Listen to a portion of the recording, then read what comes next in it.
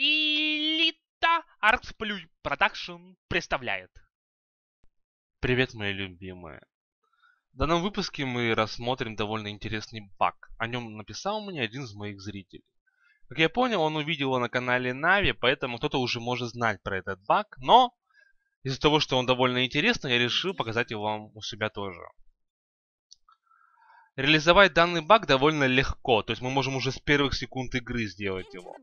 Нам нужна кура. Покупаем куру. Лучше всего отвести ее ближе к фонтану.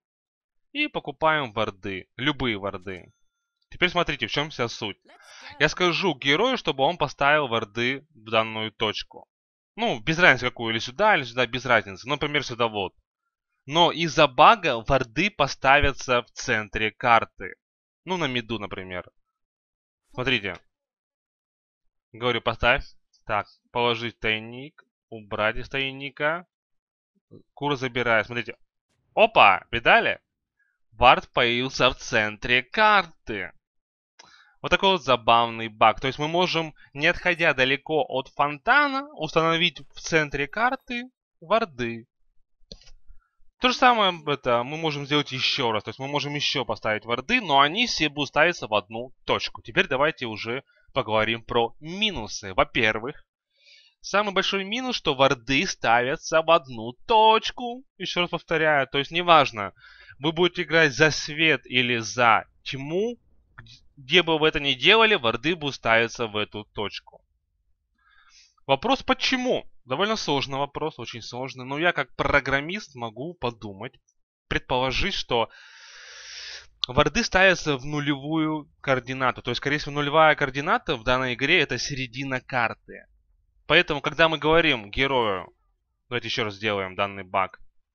Когда мы говорим герою, поставь вот сюда вот варды, она идет ставить, потом оказывается, что у данного героя нету вардов. Опа. И варды по ошибке не могут определить координаты. В итоге они ставятся в нулевую координату. Вот центр карты. Теперь здесь стоят два варда. Два. Они стоят настолько э, вплотную друг к другу, потому что одна координата, понимаете? То есть не плюс, 5, не плюс 5 пикселей, не плюс 10, а все в одной точке. Вот мы, видите, я нажимаю, вот меняется время действия.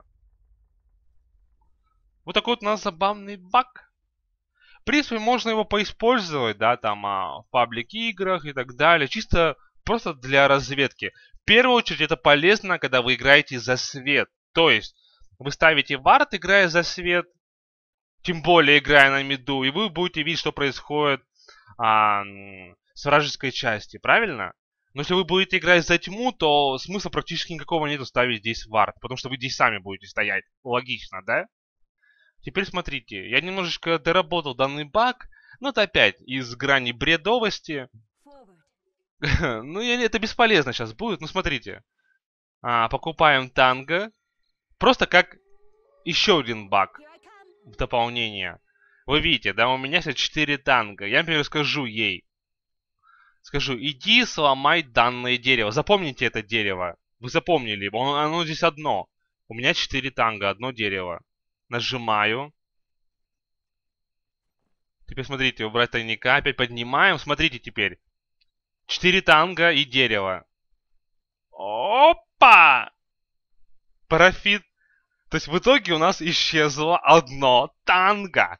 А где оно? Да фиг его знает. Да хрен его знает. Просто исчезло в никуда.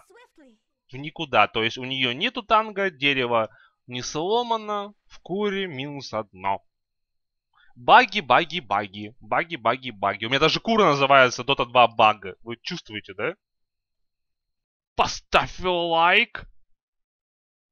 Напиши комментарий. Подпишись на канал.